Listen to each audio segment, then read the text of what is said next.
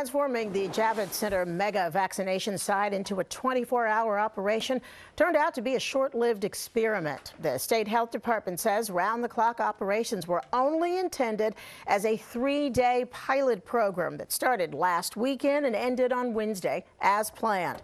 State officials say during that time, 41,000 vaccinations were administered between Pfizer doses during the day and Johnson & Johnson overnight.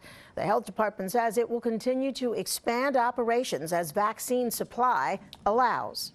Hey,